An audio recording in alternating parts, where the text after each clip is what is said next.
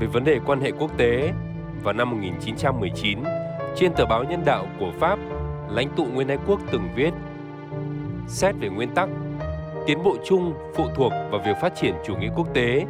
và văn minh chỉ có lợi khi các quan hệ quốc tế được mở rộng và tăng cường.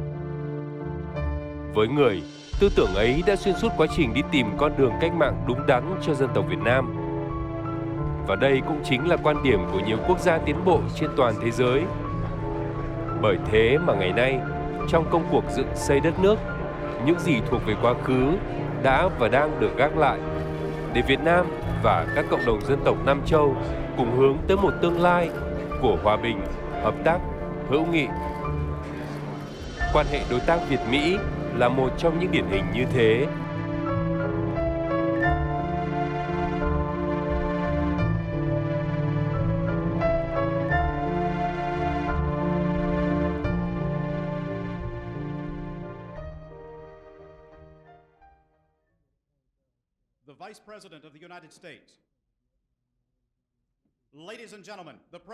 United States.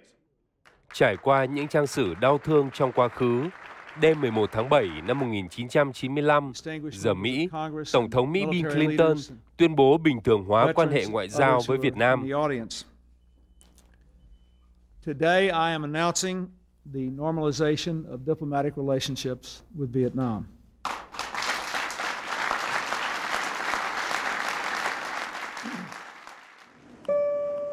Sáng ngày 12 tháng 7 năm 1995, Thủ tướng Võ Văn Kiệt đọc tuyên bố thiết lập quan hệ ngoại giao với Mỹ. Việt Nam chủ trương gác lại quá khứ, hướng tới tương lai, cùng Hoa Kỳ xây dựng quan hệ hợp tác trên nguyên tắc cùng có lợi,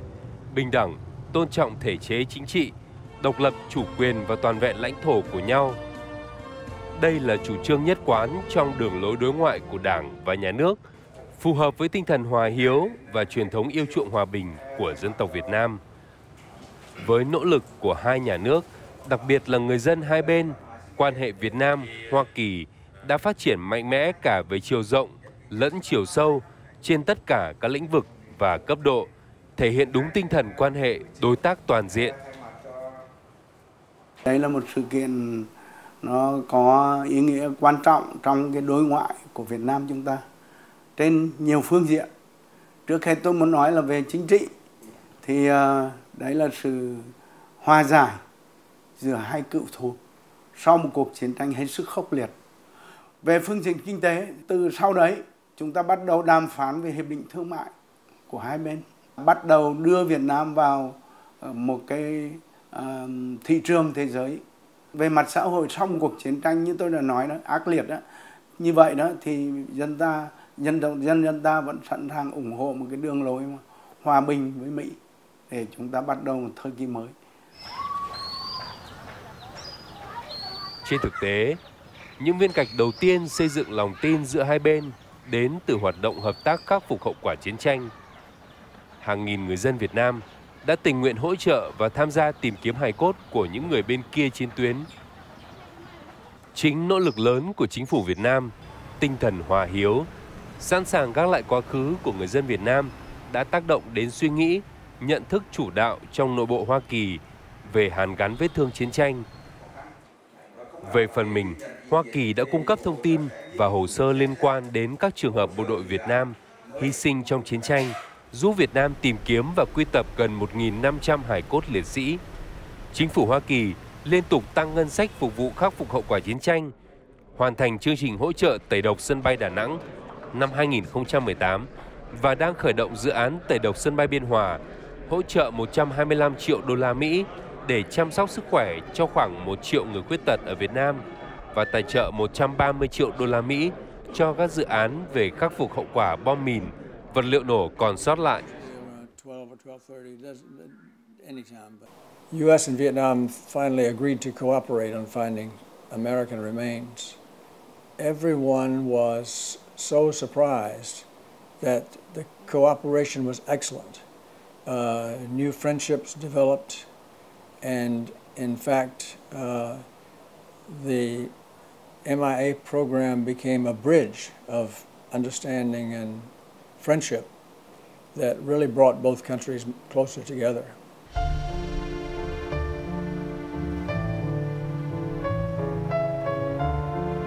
Nguồn lực thúc đẩy hòa giải Việt-Mỹ trước hết thể hiện qua suy nghĩ và hành động của người dân. Tiến trình hòa giải và bình thường hóa giữa hai nước đã bắt đầu chính thức bằng những tiếp xúc và hoạt động không chính thức và mọi chính sách của nhà nước cũng xuất phát từ mong muốn của người dân. Không phải ngẫu nhiên mà các cuộc khảo sát xã hội Việt Nam gần đây cho kết quả đại đa số người dân được hỏi mong muốn gác lại quá khứ, hướng tới tương lai. Đối ngoại nhân dân nó có một cái mặt rất mạnh là người ta có thể vượt qua những cái biên giới của những cái câu chuyện về lập trường của các cái chính đảng, của các cái chính phủ để mà thúc đẩy cái hiểu biết lẫn nhau. Trên thực tế thì tôi có một cảm nhận rất rất lớn là người dân giữa hai nước họ chia sẻ với nhau nhiều điều. Người Mỹ đến đây thì họ thấy một Việt Nam tươi đẹp, thấy một Việt Nam hiếu khách và thấy một Việt Nam có vị thế là vừa ổn định trong nước, vừa tăng cường hội nhập, đồng thời thúc đẩy cái đóng góp mình vào chung cái hòa bình ổn định phát triển ở khu vực này và trên thế giới. Nên chính cái điều đó nó sẽ tác động ngược trở lại đối với các cái quan chức chính quyền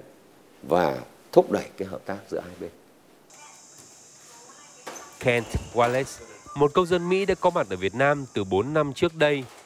Ông muốn tìm hiểu về đất nước từng đương đầu với Hoa Kỳ trong quá khứ. Và mảnh đất Nghệ An là nơi ông gặp gỡ nhiều cựu chiến binh tham gia kháng chiến chống Mỹ. Tờ báo Mỹ Cahoot Quarterly đăng tải bài viết về xúc cảm của ông khi gặp một trong số những cựu quân nhân ấy. Tôi hỏi cửu rằng anh sẽ trả lời như thế nào nếu tôi là một người đã chiến đấu chống lại anh trong chiến tranh. Miệng anh nở một nụ cười và nói, tôi sẽ bắt tay anh.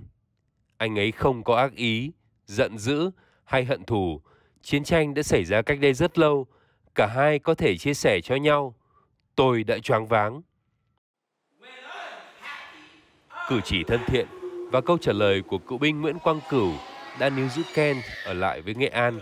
với công việc tình nguyện dạy tiếng Anh cho những trẻ em ở thị xã biển Cửa Lò. Yêu mảnh đất này, Kent đã lập kế hoạch xây dựng một website quảng bá du lịch Nghệ An đến bạn bè quốc tế, đặc biệt là người Mỹ ở quê hương ông. So anything I can do to make my fellow Americans know how wonderful, how friendly, how idyllic Vietnam is, I will do it. And I write articles in magazines in America telling them, come to Vietnam. It is a wonderful, wonderful place. And the people of Vietnam are the best part of Vietnam. Những công dân yêu chuộng hòa bình, các cựu chiến binh và gia đình họ ở cả hai phía là những người đầu tiên đối mặt với quá khứ và bắt đầu xây dựng cầu nối để chính phủ hai nước có thể gắn kết thành công. Người Mỹ và người Việt đã bắt đầu làm việc cùng nhau để giải quyết các vấn đề nhân đạo, khắc phục hậu quả chiến tranh. Và khi nền móng này đã trở nên vững chãi, những viên gạch của hệ thống văn hóa, giáo dục, y tế, xúc tiến đầu tư giữa hai bên bắt đầu được dựng nên. Chúng tôi hiện nay đang à, đẩy mạnh về cải tiến chương trình đào tạo thì mô hình đào tạo của Hoa Kỳ là một trong những mô hình giáo dục rất là tốt. Thì chúng tôi hy vọng thông qua các chương trình hợp tác này ấy, thì sẽ giúp cho nhà trường là à, sẽ có các cái mô hình à, đào tạo hợp lý phù hợp với cái xu hướng hội nhập quốc tế và phù hợp với các yêu cầu mong muốn của các cái doanh nghiệp à, của Hoa Kỳ khi đến làm việc tại Nghệ An.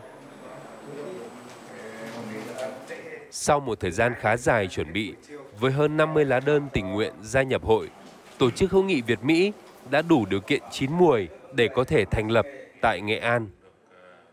Ngôi nhà hữu nghị Việt Mỹ tại Nghệ An đã hình thành. Đây cũng là cơ hội rất là tốt để mà chúng ta giới thiệu với người dân Hoa Kỳ về cái truyền thống cách mạng, truyền thống yêu nước của tỉnh Nghệ An mà một trong những điểm nhấn rất quan trọng ở đây tức là giới thiệu với bạn bè Hoa Kỳ về cuộc đời sự nghiệp của Chủ tịch Hồ Chí Minh cũng là một trong những cái quan tâm rất là lớn đối với lại bạn bè của Hoa Kỳ. Thế và cũng mở ra những cái khả năng để cho tỉnh có thể kết nối rất là rộng rãi với lại các cái đối tác để phục vụ cho cái sự ờ, phát triển kinh tế xã hội và cả xóa đói giảm nghèo ở địa phương. Từ những năm 2000, quan hệ hữu nghị giữa các đối tác Mỹ và tỉnh Nghệ An đã được thiết lập thông qua nhiều hoạt động đối ngoại giữa hai bên. Bên cạnh các chương trình giao lưu văn hóa,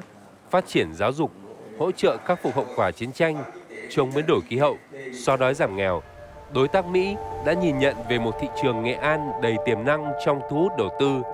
và đến năm 2016, việc hình thành nhà máy sản xuất thức ăn chăn nuôi Cargill Nghệ An đã khẳng định mong muốn hợp tác đầu tư của người Mỹ lên mảnh đất này. Sự phát triển của tập đoàn nông nghiệp hàng đầu Mỹ trên đất Nghệ An đã góp phần chuyển đổi cơ cấu và phát triển sản xuất nông nghiệp, tạo thêm việc làm, thu nhập cho người dân địa phương, đóng góp cho ngân sách nhà nước và an sinh xã hội.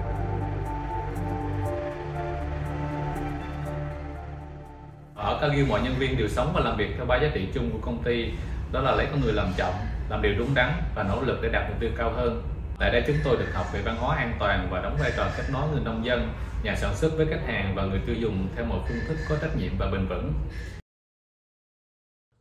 Thực tiễn tại Nghệ An, Liên hiệp các tổ chức hữu nghị tỉnh đã có 17 tổ chức thành viên được thành lập và đang hoạt động khá sôi nổi, có phần tích cực trong công tác đối ngoại nhân dân và công tác đối ngoại chung của tỉnh. Bên cạnh đó, những năm gần đây, bằng chủ trương thu hút đầu tư rất bài bản, chính quyền tỉnh Nghệ An đã kêu gọi được không ít các đối tác nước ngoài lớn mạnh thâm nhập vào mảnh đất này. Sự hình thành của các cụm công nghiệp quy mô đã góp phần thúc đẩy nền kinh tế Nghệ An đi lên, đồng thời giải quyết tốt các vấn đề an sinh xã hội, cùng chung tay bảo vệ môi trường, nâng cao chất lượng cuộc sống cho người dân. It makes me very, very happy um, that I can be here today, that I can be part of building this, this bigger relationship that fulfills the vision that our leaders on both sides have had for our countries to grow closer and to, to work towards um, our common goals and towards uh, closer friendship and cooperation and a shared future um, of prosperity for both of our countries. Nghệ An là miền đất có nhiều tiềm năng và thế mạnh phát triển diện tích lớn nhất cả nước, dân số đông, điều kiện địa lý, kinh tế đa dạng, có biển, rừng núi, đồng bằng, có nguồn tài nguyên khoáng sản phong phú và nguồn nhân lực thông minh, lực lượng lao động dồi dào. Tương lai gần, Nghệ An sẽ nằm trên đường cao tốc Bắc Nam, đường cao tốc Hà Nội Viêng Chăn là cửa ngõ ra Thái Bình Dương của Lào, Bắc Thái Lan và nhiều vùng đất khác. Nghệ An được quy hoạch xây dựng cảng biển quốc tế cảng hàng không quốc tế và cửa khẩu quốc tế Thanh Thủy, có đường sắt xuyên qua. Các khu công nghiệp đang được xây dựng, hoàn thiện về hạ tầng kỹ thuật để đón chào các nhà đầu tư, trong đó có khu công nghiệp V-Ship, khu công nghiệp Hemarise, khu công nghiệp WHA hứa hẹn nhiều triển vọng. Đặc biệt, Nghệ An nổi tiếng về truyền thống yêu nước và cách mạng, là nơi sinh ra Chủ tịch Hồ Chí Minh cùng nhiều nhân vật lịch sử và lãnh tụ cách mạng khác. Đó là những thế mạnh tiềm năng to lớn hình thành điều kiện tiên quyết thuận lợi cho Nghệ An phát triển.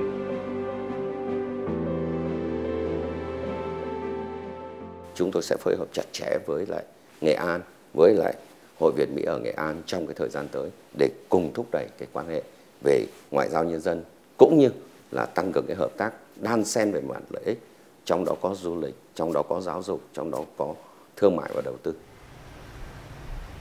Trong giai đoạn vừa qua, thực hiện đường lối đổi mới của Đảng, được sự quan tâm và hỗ trợ tích cực của Trung ương, đặc biệt là nghị quyết 26 của Bộ Chính trị. Nghệ An với sức mạnh cộng hưởng của Đảng bộ, chính quyền và nhân dân đã bền bỉ vượt qua mọi khó khăn, thách thức, nỗ lực thoát nghèo, vươn lên mạnh mẽ, đạt nhiều thành tích quan trọng trên các phương diện phát triển kinh tế, xã hội, quốc phòng an ninh và xây dựng Đảng. Những nỗ lực mang tính chất nền tảng của Đảng bộ, chính quyền và nhân dân Nghệ An sẽ góp phần tăng sự hiểu biết nhiều mặt giữa nhân dân hai nước, làm sâu sắc sự hòa giải cũng như cách thức thúc đẩy quan hệ đối tác toàn diện giữa Việt Nam và Mỹ nói chung, Nghệ An và Mỹ nói riêng. Chúng tôi xác định cái hướng hoạt động của Hội Việt Mỹ ở ba nhóm vấn đề. Thứ nhất là khẩn trương xây dựng cái chương trình kế hoạch công tác đối ngoại với Mỹ. Và thứ hai là tăng cường giới thiệu, quảng bá về Nghệ An để phía bàn được biết bằng nhiều kênh khác nhau. Thứ ba là đẩy mạnh các cái hoạt động tiếp xúc trực tiếp ờ, giữa hai bên để thúc đẩy Ờ, sự hợp tác trên các cái vấn đề đầu tư kinh doanh, giao lưu và phát triển văn hóa, giải quyết hậu quả chiến tranh, bảo vệ môi trường thiên nhiên, chống biến đổi khí hậu, ờ, tăng cường ờ, hợp tác về giáo dục và đào tạo nguồn nhân lực cho tỉnh nhà. Quá khứ không thể thay đổi, nhưng tương lai thuộc về trách nhiệm của chúng ta. Với những gì đã qua và những gì đang tới,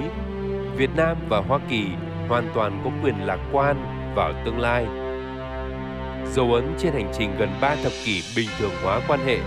và thiết lập quan hệ ngoại giao của Việt Nam, Hoa Kỳ sẽ là động lực để thế hệ sau tiếp bước đưa quan hệ đối tác phát triển lên tầm cao, phù hợp với lợi ích của nhân dân hai nước, đóng góp thiết thực vào hòa bình, ổn định, hợp tác và thịnh vượng.